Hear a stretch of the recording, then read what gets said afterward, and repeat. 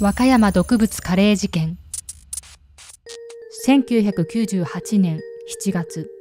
和歌山県和歌山市の夏祭りで振る舞われたカレーにヒ素が混入される事件が発生しました。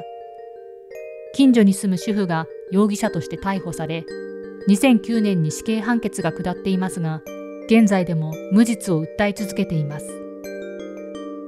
この事件は不可解な点も多く冤罪ともささやかれています。世の中で決まっていることが本当に真実なのでしょうか？今回はその点にも焦点を当てながら事件を振り返ってみたいと思います。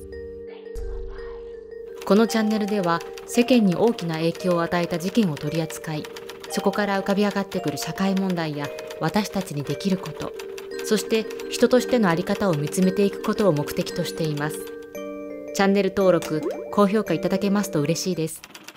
事件の概要1998年7月25日。和歌山県和歌山市の夏祭りで振る舞われたカレーにヒ素が混入され4人が死亡63人が重体となる事件が発生しました。容疑者は保険金詐欺の疑いもあった当時37歳の近所に住む主婦でした。犠牲となったのはカレーを食べた自治会長と女子高生男子児童ら4人です。今の若い世代には知られていない事件ですが、当時容疑をかけられた主婦がテレビに出演し、事件の関与を否定したり、報道陣にホースで水をかけたりする映像は、日本中に大きな衝撃を与えました。今でもこのカレーを食べた被害者の中には、この事件のことを思い出したくないと言い、死刑が早く行われることを望んでいます。しかし、死刑判決を受けた主婦は、今でも無実を訴えており、当事者たちにとってはまだ終わっていない事件と言えます。犯行の経緯事件が起きたのは、泉山脈と一級河川である紀の川の間に挟まれた人口2万人ほどの和歌山市北部にある静かな住宅街でした。自治体主催の夏祭りでカレーの見張り番の一人だった犯人の主婦は、その状況を利用し、カレーにヒ素を入れるという卑劣な犯行に及びました。それが林真澄死刑囚でした。警察の必死の調査で作られた事件当日のタイムテーブルから次のような犯行の流れが推測されました。夏祭り当日の朝民家のガレージでカレー作りが始まりお昼頃に完成したカレーの鍋にはアルミホイルと段ボールで蓋がされていました。林真澄が見張りを担当したのは午後0時20分から午後1時の約40分間でした。カレーの鍋は2つありそのうちの一つの鍋の蓋を彼女は開け、白い湯気が鍋から上がりました。その様子をガレージの向かいの家に住む住人の少女が目撃していました。この時にヒ素が入れられたと考えるべきでしょうが、決め手となる証拠は依然として見つかりませんでした。ですが、林真澄は叩けば埃が出るようなすねに傷を持つ女性でした。1985年と1987年に保険外交員をしていた林真澄は、ヒ素を使った保険金詐欺を繰り返しました。そして1988年には、実の夫にヒ素を摂取させ、1億円以上の保険金を受け取っていました。この夫が元シロアリ駆除業者だったため、彼女の自宅にはヒ素があり、消去法によって犯人逮捕となりました。林真澄の生い立ち。林真澄は1961年7月に和歌山県の小さな漁村で生まれました。父親は地味なタイプでしたが、母親は逆に豆で社交的でした。兄弟の中で女性は末っ子の林真澄だけで、彼女には負けず嫌いの一面がありました。母親は保険の外交員をしており、共働きの家庭だったため、親と遊ぶことは少なかったそうです。そのため、親からはピアノを買ってもらい、お小遣いも多かったそうです。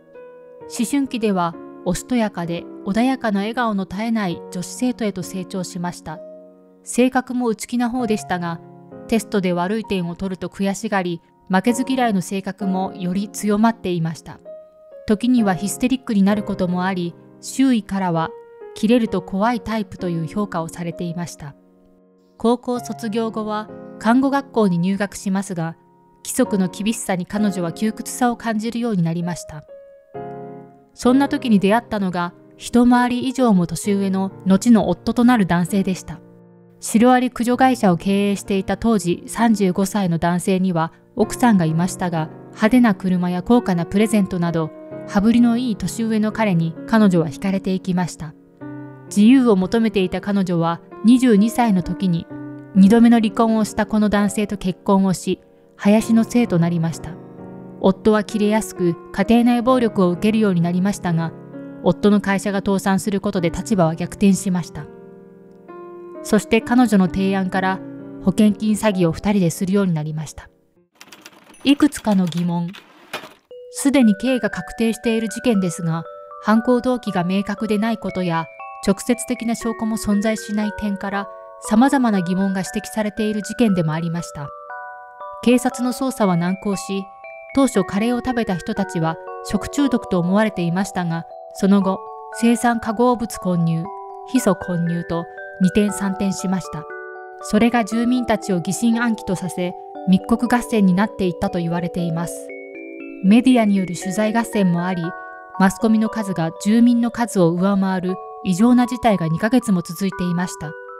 住民たちのストレスも相当なものだったと思われます。朝日新聞がガレージには知らない人も出入りしていたという証言を報じたことで、夏祭りの関係者のみに容疑者を絞ったのは不自然とする指摘もありました。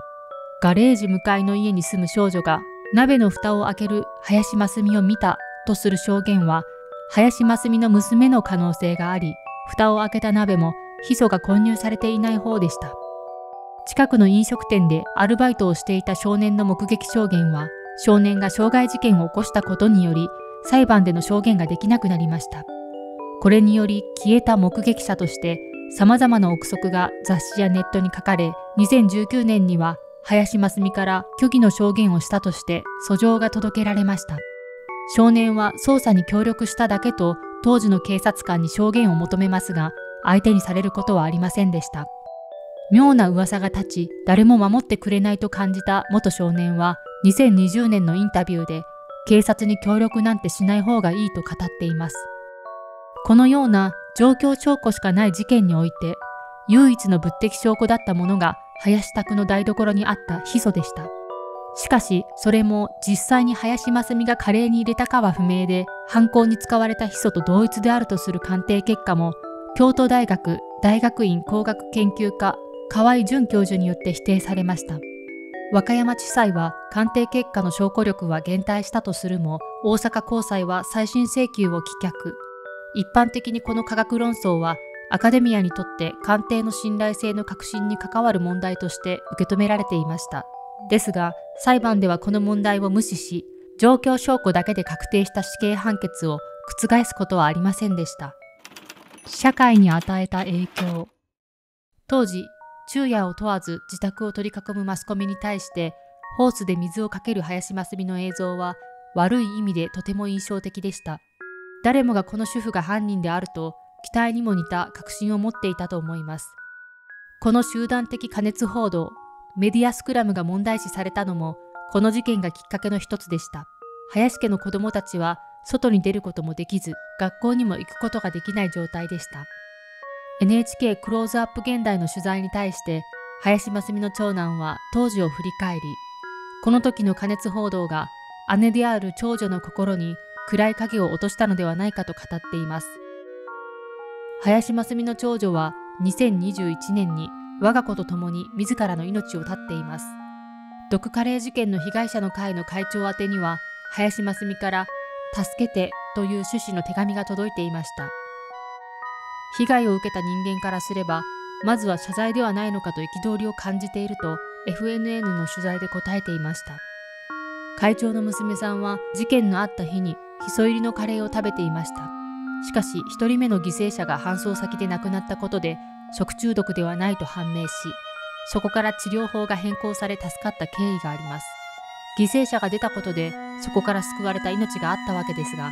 亡くなるタイミングが遅ければもっと多くの犠牲者が出ていた可能性がこの事件ではありました。ですから犠牲となり亡くなった4人の方は娘の命の恩人であり、会長は今でも事件のあった現場で黙祷を捧げているそうです。林真澄は保険詐欺については全て容疑を認めており、唯一毒カレー事件については無罪を主張しています。被害者の気持ちに寄り添えば簡単に冤罪とは言えませんが、警察の捜査に疑問が残る事件はいくつもあります。私たちは時に懐疑的な目で物事をしっかり推し量ることが必要かもしれません。本事件などを通し、これからの社会の在り方について向き合う時代に入ったのではないでしょうか。事件に関する考えや感想など、コメント欄にて教えてもらえると嬉しいです。最後までご視聴いただきありがとうございました。